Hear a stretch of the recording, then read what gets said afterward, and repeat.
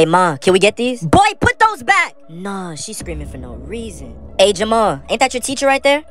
Nah. Oh, nah, I never seen him before in my life. Can we leave? Jamal, is that you?